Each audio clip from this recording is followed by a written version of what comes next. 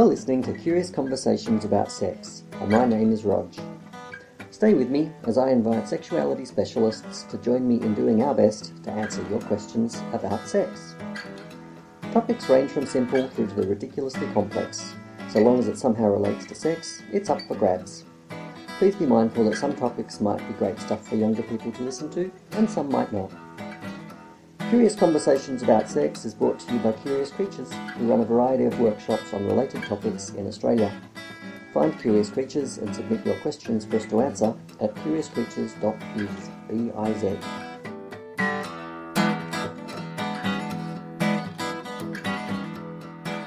And today I'm joined by Lorraine Pentelow. Hello Lorraine, how do you would you like to describe yourself? Hi Rog, yeah, I'm a somatic sex educator. Great, wonderful, welcome. And Charlotte Sway, how would you like to describe yourself, Charlotte? Uh, I am a fetish escort and an experiential erotic educator, which is just another way of saying something similar to what Lorraine is. Fabulous. So, to today's question. I'm embarrassed about my protruding inner labia. How do I get around that? Hmm, Huh. Hmm.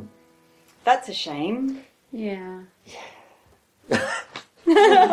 Several of us here in the studio are just touching our hearts. And can I also say, like that was our kind of like little bit empathic sad face, can I also a little bit go, yes, you Yeah. can. Yes. There's- I've, I've been there once upon a time. uh-huh, Yeah. Hmm, that could have been your question. It could have been, yeah, 18 years ago could have been definitely. Well, thank you for saying. Hmm. Wow. I've, I've since learned to really love my labia and the rest of my vulva, but it took a while. Um, what happened? um, How was your perspective changed? my perspective was changed by, by working in an environment where I was seeing a lot of labia and a lot of people were seeing my labia. Um, So this is your stripping world? Yeah, I worked as a, as a stripper for, and I still sort of dip my toe in and out of that world um, for 19 years. And yep, I've seen a lot of labia, and a lot of people have seen mine in that time. And I don't think I had one person ever say that they were too big or too long or too ugly. And I had the opposite. A lot of people really appreciating and, and, and saying how beautiful my labia was. And I think I think I was very very privileged in that way to see what people's reactions were to them. Like 'cause Mm. when I first came into the industry, um, I think I'd been working as a stripper for maybe three or four weeks. One of the girls I worked with had that very same issue, and went and had this really painful, expensive surgery done on them. Mm. I think they call it labiaplasty. Yes. Um, and she was out of work for some time and she was in a lot of pain and she thought it looked really lovely afterwards and I actually thought it looked nicer before I, and I really enjoyed the way they looked And, before. and now we're talking just about the aesthetic function, Yeah. when actually it's it's a pleasure function, it's a Yeah. feeling function, and so if you are going to get that snip, then you're sacrificing a whole lot of sensation and Crime against humanity. That is not Yeah. on. I don't know. I, I don't want to be. I don't want to be down on people who do make that decision and have that particular uh, operation because I, I do understand what they're responding to, and I understand that it's all pros and cons and balances and so forth. So I don't want to flip and be too shaming on True. people who have taken that step. Yet at the same time, yeah. Oh my God, uh, like, Lorraine, your story's got so much in it around like. Um, uh, for one thing, where, where does it come from in the first place? The, what's meant to be normal? Because one of the things I love about your story is in looking at other vulvas, you've gone, aha, there's actually. Well, I'm reading into what you're saying, but I'm imagining you're going. There's a lot of diversity, and there's a lot of like like normal is very Broad. Broad. yeah. Yeah. yeah and subjective as Yeah. well. I mean, what, what what was normal in in the stripping world was very different to what is normal in porn. yeah You yeah see a lot of a lot of very neat Yeah. vulvas in porn with, with hardly any any labia. I think um, Porn laws in the 70s. Yeah. Yeah, I'm not a 70s porn law legal expert type dude. but yeah, my understanding going back then, and please, like, I just need to give myself permission to get some of these details wrong, and I, I know that uh, everyone is really supportive and permissive of getting it wrong in sex because there's no such thing as getting it right. That disclaimer said and done. Uh, my understanding of 70s porn law was that in order to avoid triple X rating, which put a lot of restrictions on what could happen, there could be no, basically no pink bits, which was interpreted as meaning no inner, inner labia protruding. Is that and where it's it came the same law says no erect cocks. So there's like a really sex negative part to this. So a lot of softer porn that you saw and we were exposed to in the 70s and 80s that was readily available was based on that legal framework. Mm, which has built up the idea of Yes. what is Mm. Yes. a beautiful Yes. set of genitalia. And so a lot of people started going, well, a normal vagina, a normal vulva, you can't see lips. That's the abnormal the inner lips. You can't see that. That's the abnormal thing. And um, it's uh, hilarious. I don't know. Yeah. I've seen some statistics. Uh, this conversation's so Yeah, exciting. I would yeah. zoom back a layer and just to say everything is beautiful. And why are we even talking about aesthetics like that's something that has any value in the first place? Because it's all just culturally defined crap. However, if we are talking about aesthetics, as you say, Lorraine, some people actually like uh, protruding labia. Well, And- all the people that I've spoken to Yeah, like that's what I have. And I was never really that, you know, exposed to, or rather, my genitals weren't that exposed to diverse public opinion for quite a long time. Um, but certainly, I have always had very positive uh, response to my genitals, and I have a very generous inner labia, which I love um, because I feel like I have so much more of a palette for pleasure because of their size. Mm. Listeners wouldn't have been able to see the way Charlotte spread her hands in the most delightful labia-like fashion as she said the word palette. Um, and, and they are a palette, and when you consider all the purples and pink hues that it becomes flushed with. Yeah. N- n- Nature's colours. Um, so, what you're saying, it sounds like in your experiences, uh, you've had at least as many positive responses and at least as many people who regard larger protruding labia as something they're attracted to. Definitely. Like, Yeah. I, I, I don't believe I've encountered otherwise. hmm Great. Mm. Yeah, and out, out of all the, I think probably thousands of, of labia I've, I've witnessed, this sort of aesthetically trimmed, sort of pleasing um, porn style labia, it, it's a small fraction of the labia that I've seen. And, and these are performing women who, some of them do have this operation to, to trim it down, but majority of them do have large labia. It's, it is rare to have the trimmed labia. I feel like I've seen some statistics that show that more protrude than do not. Yeah. I can't quote that. This is not real actual science or evidence, Mhm. but I feel like I've seen those statistics. Mm. I guess it certainly matches my lived experience, but mm. Mm. Yeah, it matches my lived experience in, in my personal and professional life. I, ah, I just you, you just can't stumble into this topic without just getting so fired up and angry about the negativity and the judgment and the sense that our bodies and genitals need to look a particular way, and that there is a standard and a norm. Like, God, I hate, I just just hate that approach. Yeah. I, I so remember reading um, uh, The Beauty Myth when I was in my early 20s, which is just basically really hammering home the point, or at least this is the bit that I took home from it, which is just around how your body looks has got absolutely nothing to do with how useful it is to you Mhm. sexually and how useful it is to your partner sexually. Like that initial attractiveness that fits to a stereotype. Um, I feel like after the first, I don't know, three or six weeks or something like that, you have to step out of um, relying on stereotypical attractiveness and that whole fantasy that goes with that and replace it with actual presence and skills and touch and so forth.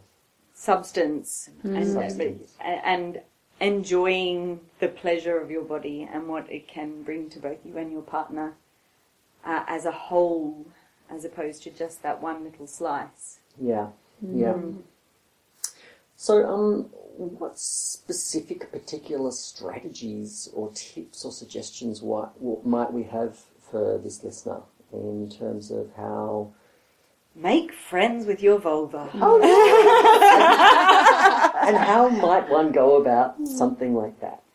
Um, well, it could be it, it, it could be quite a confronting exercise, but um, I was having a conversation with a a male friend of mine recently who was sharing how little most of his female partners knew about their own anatomy. Yeah. If he felt like the the males in his life knew more about female anatomy than the than the, the females did. I, I think you could probably degender the conversation and say most Vice people versa. have no idea about their genitals. Most people have never squatted on a mirror. Most people have never had a partner lovingly describe what they're seeing. and we're because we're we're more um, uh, experienced with other people's genitals than our own.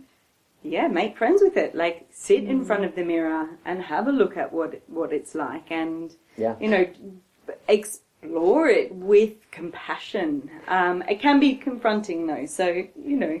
Can be. Um, and I just want to acknowledge on the way through uh, some of what we're talking about there. The framework is that we might be assuming, if not heterosexuality, but that no, but but but even like even genital. if you're with uh, like Yes. genitals of the same type, you're familiar with other genitals, not necessarily your own, Yeah. Hmm. because it's not often Yeah. like yes, you might touch yourself, you might masturbate, but you know, Yeah. not many of us have actually sat there with a mirror and have a, had a good look around in a academic way with curiosity to see what it looks like and what what and Yeah. then explore what happens to it when it becomes aroused and how does it mm-hmm. change and what it looks like then and it's quite a different Oh, it's such Um, good work. Like for mo- yeah, for most people, that's just such a foreign thing. And I have to say, I feel like I, we're, we're we're talking about sexological body work a lot in this conversation in terms of training, putting one through one's paces around making peace with one's genitals. Would you well that, that's or- certainly an exercise that i did as part of my um, study to become a certified sexological body worker and it was a profound experience Yeah, it, you can find it in other modalities as well. Mm. Um, You can find it in the orgasmic meditation practices. Um, part of that is the they're very gendered in the way they do it, but I've been to um, some classes that do it degendered. Um, and yay, yay, yay for degendering stuff. But the, the partner usually, um, well, does in this practice, witnesses the the other person's genitals and just describes them in a non um, in a descriptive way rather than interpretive, or Interpretive, loaded, yeah. Subjective. yeah, yeah, subjective, Yeah, without using yeah, sort of- yeah, um, value judgment, value judgment, using the word beautiful, things like that. Taking all the judgment out and just describing the genitals. And that can be really empowering and, and a really new and fresh experience for people. And also um, with the surrogacy training, um, one of the exercises there is to, to stand in front of a mirror or sit in front of the mirror and describe your own genitals. Do this several times. Just look and describe your genitals and then come together and do it in front of someone being witnessed describing your own genitals. But definitely sexological body work, there's a lot of that in the modality of Love it. sex and work. and also with the um, introducing your genitals to Yeah. somebody else, like how, what you like to call them, what they Mhm. what you like about them, what their positive features are, like how they have served you, uh, how what you know about how they like to be touched or approached, what you know about how they don't like to be touched and don't like to be approached. mm, Yeah, training manual for Yeah. genitals. mm, Yeah, and, and stories about the genitals as well. We, we we did a lovely exercise where we all got on the table in the training, and we we told a story about our genitals. So that bringing a time when you know you might have, have shaved and it went wrong, and, and people saw what, what, whatever whatever stories come up for you about your genitals, and that that can lead to a lot of insight. There's a, a, lot- a lot of things you can really realize. Even after years of doing the work and then trying that exercise again, like I did recently, And that could So that could be a really good way to begin understanding where the shame has come from Mm. in relation to your genitals as well. Um, you, people may have had negative experience, sexual experiences that have built up shame. yeah, yep, yep, yep. Mm. So, staying with that question of uh, like what are some specific ideas or tips about how one might reclaim? Um, anything further you want to add to that, Charlotte? I even like just to meditate on my genitals, which is is really just an exercise of cupping my vulva and feeling the warmth in it and just focusing my attention on that part of my body in a really loving way I, is it's a beautiful meditation for me. It's, it's calming, it's grounding, it's um, valuing, It's a- respecting. It's a countercultural part of the revolution. Mm. yeah. Um, and that's a really simple exercise to do. Wow, beautiful. Um, I, I, I, I want to hear from you in a second, Lorraine, but, but before I leave you on this, Charlotte, um, do you can you identify when, how long ago, you transitioned from having a neutral or negative relationship with your genitals? I didn't have a neutral or negative Right, relationship so it's with my been- genitals. Like Okay. I, um, I guess, uh, oh, go the big complicated story.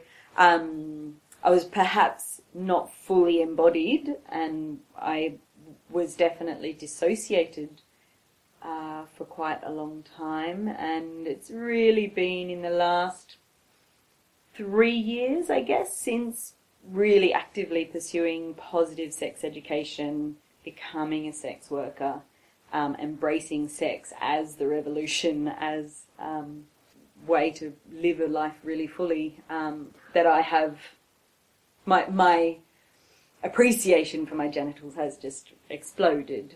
So, take home message there, folks. Uh, becoming a sex worker is not necessarily a re traumatizing, abusive process. It is actually empowering and liberating. Lorraine, what are your thoughts on um, what particular specific activities uh, someone might do to make peace with their genitals? Um, well, mapping can be a good one. Ooh, what's mapping? Describe mapping Um, for us. Well, it's something you can do either by yourself or with a partner or with a sexological bodywork practitioner. Um, so if you're doing it by yourself, you'd be potentially using a mirror so you can see the areas that you're working around.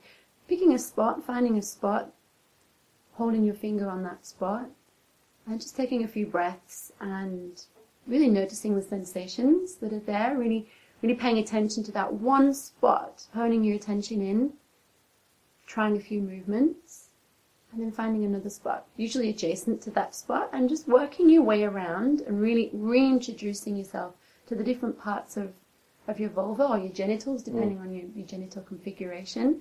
Um, if you're working with a partner, then the describing exercise that I spoke about before can be really helpful as, a, as an um, introduction to working in a mapping um, exercise.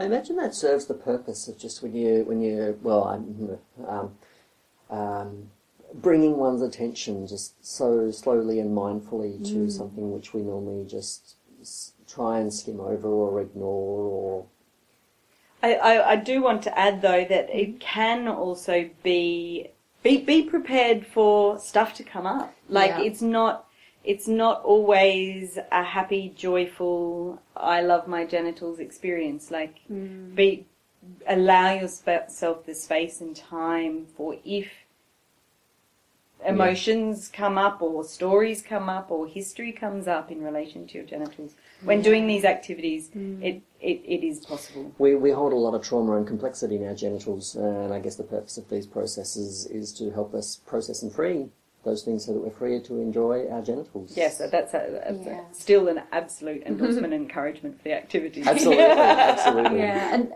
I just need to add as well that these these these um, activities need to be done separate to lovemaking. yes. If they're a prelude to lovemaking, that can lead to um, the experiences that you were just speaking about, Charlotte. Where I've experienced it myself while doing the training. I did a mapping exercise with a, a partner of mine, and I was feeling very juicy and, and sexy afterwards. And yeah, the lovemaking really took me to a place that I, I didn't want to go and wasn't ready to go. So yeah, definitely I can speak to that. Such a good point.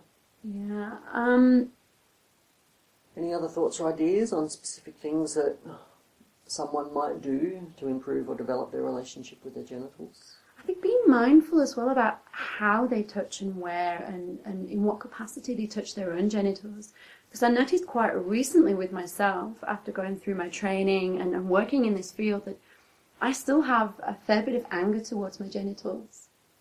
Um, and I'm sort of in the process of, of working through that and figuring out where it is. But I, I did notice that, you know, going to the bathroom, I'd, I'd be quite rough wiping myself. Mm.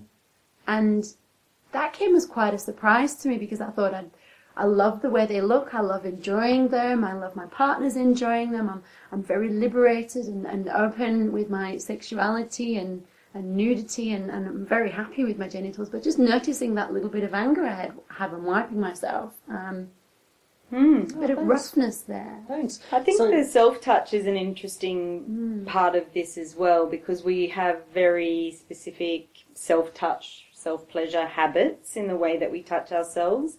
And also, another option is to expand one's repertoire and how one self pleasures. So, experiment with different types of touch on your genitals. Um, with and take take the the orgasm end goal out of the picture and just be curious about what other types of pleasure are available there. So again, it's like a practice, and anything you practice, you get better at. Yes, Yeah. absolutely. Oh, Love it. And uh, Lorraine, I was going to ask um, about. Do you have any thoughts on, on on when your relationship with your genitals changed from, say, being a little less positive to a little more positive, or but based on what you're saying, maybe that's still a work in progress. I think we're always a work in progress, Rog. Yeah. Um, yeah, it, my relationship with my genitals have, has, has been um, a big, a big journey. Yeah, I, I remember first being aware of my genitals when I was I was quite young and noticing that they were changing, that my labia was growing, and, and, and that, that difference was what sparked the negative. And then going from that, I was probably about seven or eight, and then going from that, another 10 years passed, and going to show my genitals to people for a living and, and being a little bit uncomfortable there and then finding finding the, the beauty in them and really enjoying them and, and not having um, these negative feelings towards how they look and then you know fast forward in another 10 years into going really learning how to enjoy them by myself and with a partner and then you know fast forward in another five or six years and really learning how to be embodied and it's still a work in progress Mm, yeah, um, yeah, yeah. I think that It's captures it. yeah, lovely journey. um, yeah, my thoughts, uh, my thoughts on reclaiming are um, just very much around. Uh, with me, it's always about communication and relationships and emotions and psychology. That's always my obsession with this stuff. Um, have a real think about the people you're with and how much work they've done on themselves in terms of freeing themselves from particular ideas about how you're meant to look or how you're meant to behave or anything like that and start to get really curious and interested in the ways that your partner or partners are not accepting you just exactly as you are. And in terms of specific practices, um, it's a little random. I love what you've both said. Um, I my mind goes to genital worship. Uh, And actually treating genital worship as a bit of an end goal. So saying, yeah, not only do I want to, and I want to make peace there, I want to get to the stage where I have that much pride and that much understanding of the power and awesomeness of my genitals that I understand I can completely control and govern and adore and fan just with whether I allow them to see my genitals, whether I allow them to touch them, smell them, taste them, suck them, whatever, uh, or just know that they're in the room. Uh, yeah, just to really continue and deepen that process. Um, I think in the context of the sex neg- negativity around us, one can go a long way down the worship path before one has gone too far. Can you go too far? I don't think so. I don't think so. you can. I'm going to go right and say, no, I can't see. yeah. And um, I guess for me, so I don't identify as a labia owner, but I do own genitals. And just to answer that same question I've been asking from the both of you. And by the way, thank you so much for talking so personally about your bodies and genitals. Uh, thank you to all of us.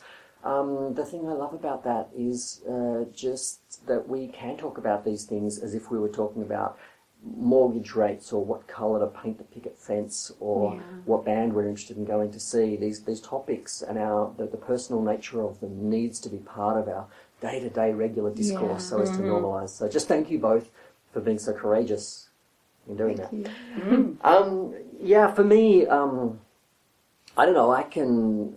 The, the first time I looked at and held my genitals with what felt like clean, positive um, regard. Uh, um, when I say clean, I mean lacking in complexity and difficulty and nuance and shame and everything else. Um, that was only about eight months ago. It was a really specific, particular time. Um, I, that, yeah, nothing in particular changed except for hundreds of workshops and reading beforehand. But yeah, I guess as a cock owner, the pressure is a little bit the opposite to the labia problem. One's always too small, the other's always too big, or something really cliche like that. Um, uh, I'm not free of that that dialogue. Um, but yeah, that whole that whole process of just um, going through enough processes of consciously regarding my own genitalia and having uh, enough partners um, approach the subject with sufficient positive regard. And also, does it bring you pleasure? Does it bring me pleasure? And if it's not bringing you pleasure, work on that maybe a bit. yes, Because it can be a great healing process. yes, Yeah. Yes. So, coming back to the original question, I'm embarrassed about my protruding inner labia. How do I get around that? So, I guess in summary, uh, one of our answers has been, yeah, look, if you need to um, have labiaplasty to have that sorted out, uh, we understand, and please also uh, look for an upcoming episode on how to recover and respond to, from surgery and scar tissue. Absolutely, scar remediation is vital in that regard, given how many nerve endings are in our genitals. Yes. If we then embed that with lots of scar tissues, you're reducing your capacity for pleasure, so it's a serious trade off. Mm-hmm. And otherwise, we seem to be saying you're perfect as you are. And develop your relationship with your genitals more positively. Make sure that your partners are regarding your genitals more positively. Is there anything else I've missed there? I think embodiment as well. Embodiment? Yeah. Go on. When, once we go deeper in, and become more embodied, the problems that we're having, they tend to sort of become smaller and smaller. Yeah. Um, Yeah, and it's almost like um, uh, focusing on the tiny thing Mhm. and expanding one's experience of the whole self as, Yeah. as a vehicle for being in the world, Mm. experiencing life, pleasure, intimacy, relationship. yeah. Oh, love it. Um, I'm also thinking, follow, following on from the worship idea, like treat your genitals like they are an absolutely special sacred object in your house, and you cannot touch them with grubby fingers. You cannot touch them inappropriately. You have boundaries and limits around the times that you bring the great silverware out on special occasions or something like that. I'm taking it too far. But boundaries. Um, You you wouldn't have a special sacred object just like bounced around and whatever Yeah. No, they, these, these, your genitals are the source Yeah. of life, people. Yeah. Yeah. the fountain. So if they have been regarded or touched inappropriately or in- incorrectly, stand for it. Put your boundary in place. Yeah. Use your no, and your relationship with your genitals improves. Alrighty. Um, so, Lorraine, Charlotte, thank you so much for joining me in responding to that question. Absolute pleasure. And, Yeah. and That's what it's all about. go and have fun with your labia. So, uh, Charlotte, perhaps if you can say a little more about what you do and where people can find you. Sure. Um, so, as I've mentioned, I'm a fetish escort and experiential erotic educator. Uh, I've spent a lot of time, most of my career, as a sensory specialist, making artwork, um, and now I direct that into collaborating with clients in uh, personalized erotic explorations um, in all sorts of realms of fantasy, fetish, BDSM, and girlfriend experiences. There's a broad range there. And I also really love educating people how to develop new pathways to pleasure and enrich their relationships. Hmm, wonderful. And where can people find you? charlottesway.net. Great. And Lorraine, would you be able to tell us a little more about what you like to do? I've just recently started a company called Sensual Touch Therapy. And what do you do there at Sensual Touch? Well, I've spent my first 19 years in the sex industry um, as a lap dancer, erotic dancer, stripper, pole dancer. Um, and when I started studying sexological bodywork, um, Charlotte and I studied that together. It was a wonderful experience. I started to bring embodiment into my lap dances. And what I noticed was that really the, an amazing difference in the way that the clients reacted. It was a lot. It felt like a healing experience. So sensual touch therapies is a marriage of my erotic dancing, my sexological body work, and my somatic sex education and somatic counselling all mixed together. Um, I'm a sexological body worker, and um, I do bring some somatic counselling into that. It all sort of works with the same stuff. Um, yeah, that- Sounds that's what I do. And you can find Lorraine at lorrainep.com.au. That's L O R R A I N E P dot com dot au.